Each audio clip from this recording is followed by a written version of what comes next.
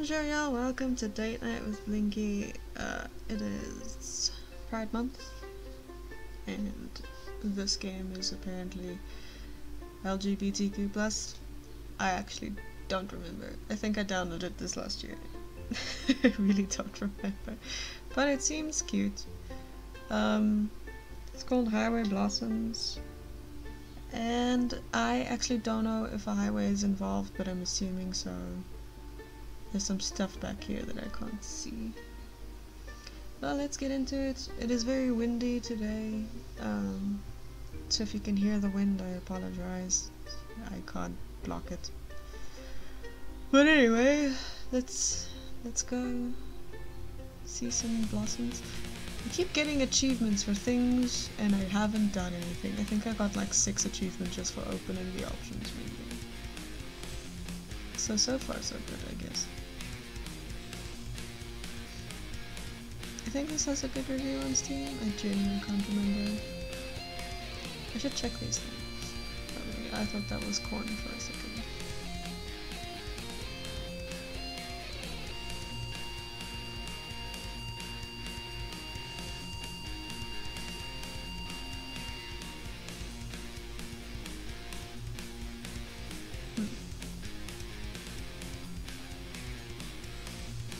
This music is also not the actual music, I just turned it down for copyright reasons. So, hopefully it matches fine. Let me see. This? I'm so sorry, music people. I do not want to get copy striked. My apologies. Ah. Alright. The music ends, the cassette clicks to stop. I've listened to it so many times I've even memorized the placement of the static from the song's original broadcasts. I'm worried the deck might eventually eat the tape, but it never happened to him no matter how many times he played the damn thing, so I'm not too scared. It used to drive me crazy. Every day he played it over and over again. Sure, he would put on something different after a few loops, but soon enough he'd switch back and the cycle would repeat itself. Sometimes think he would do it just to mess with me. I would be in the back in bed, smothering a pillow over my head to block out the music. He would just turn it up louder, even during all-nighters. That was so like him. Even near the end, when we had to finally settle down, he was still pulling that kind of crap. I'd come home from school sometimes and the police would be at the door because the entire block had called in a noise complaint. He said it was because he was hard of hearing, but I know he did it just to get a rise out of the old grouches who lived nearby. I think that was his worst fear, ending up with another bitter sack of bones. Or ending up just another bitter sack of bones. So he did everything in his power to do the exact opposite, right up till the end. Of course, that meant I would always have to, I'd always deal with the fallout. I can't imagine what the neighbors thought, seeing a little girl go door to door apologizing because some old man decided it would be funny to put plastic flamingos all over their award-winning lawns. He has a point that is pretty funny. Can't help but smile, just a little, even if it does hurt. Take a sip of my coffee. Outside a heat haze shimmers over the near-ending ocean of sand. So much desert. Even Roswell was just a rock, sand, and a few shacks. Well, alien themed, of course. Didn't see any UFOs though. I'm not used to how dry everything is. Even with the AC on high enough to rip, what? on high enough to rip off my eyebrows, I'm still uh, all sweating. Guess that's what's happened when you laze around in snowy Colorado for a decade. In that regard, the desert is a nice change of scenery. You don't exactly hate it. New sights are nice, especially since his health didn't allow him to do a lot of traveling when I was a little girl. I could see myself getting used to this. Well, maybe in another 15 years when I have everything paid off. Ugh, damn it, Amber, snap out of it. You can worry about that later. This isn't your trip, so stop being so selfish. I push the eject button. I take the tape out and look it over, probably for the 20th time today. Um, years worth of brown stains and greasy fingerprints are smudged all over, making it feel grimy to the touch. It still works like a charm, though. There are more cassettes in the glove compartment, a mixture of mine and his, mostly his. I should just play one of those and get it over with. My hand gravitates toward the latch. It would be okay, right? No. I snatch my hand away from the latch and flip the tape over. Once again, I found myself staring. With a sigh, I stick it back into the deck. I reach towards the play button, taking another look to see if the road is still clear. Like always, it.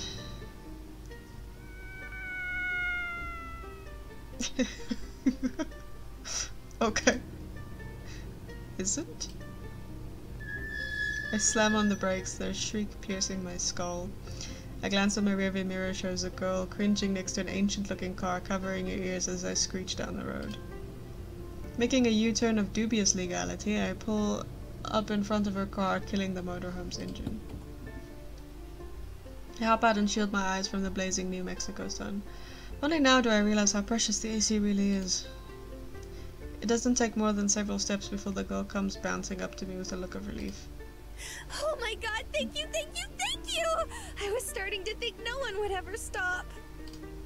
With these words, she gets a little closer, until we're finally within touching distance of each other, her smiling face now filling my entire field of vision. Her bright auburn hair is done into a girlish side tail. Glistening beneath specks of sweat, standing out in the heat has made her round, pale cheeks a sun-kissed red, but she still looks put together, like the desert would sooner melt her than do any real damage to her looks. I must feel embarrassed to be in front of someone who dresses so cutely, her frilly green top and skirt putting my red t-shirt and khakis to shame. It's all brought together by one thing though, her eyes. They're blue, vividly blue, deep and rich, complementing the traces of misty perfume as she gets closer and closer. Too close, too close, too close. I scramble back and cough, trying to hide any awkwardness. No problem. She is cute. What's she doing out here alone? Driving through hell, is she even alone? I peer off into the plains on the side of the road, half expecting a guy to pop up from his hiding place now that some idiot has fallen for their trap. That idiot being me, of course. But much to my surprise, no one does. Instead, the girl continues to stare at me, smiling as she patiently waits for my response. I glance behind her, focusing on her car. So what's the issue? Your car breakdown? I think so, yeah. I was driving and I just kind of. Stopped. Yeah.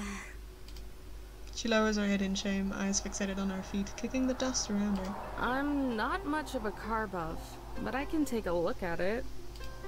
Her head pops back up and life returns to her eyes. Oh, wow! Could you? Yeah. Can't promise that I can do anything, but I can at least check it out. That'd be great. Alright, first things first then. This thing looks even older than my mon- mama at her home. It was probably a nice car once upon a time, but with a dented grille, multiple scratches, and a faded green, murky green color, it's hard to believe such a cute girl was driving it.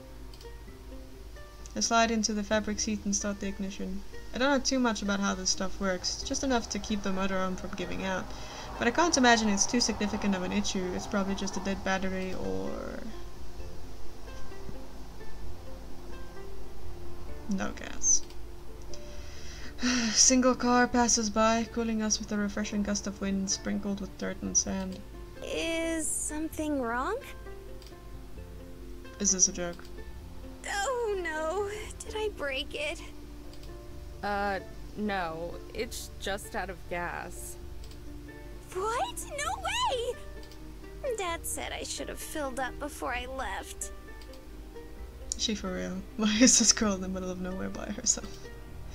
As if trying to force all the ideas into the center of her brain, the girl grabs her head and whines under her breath.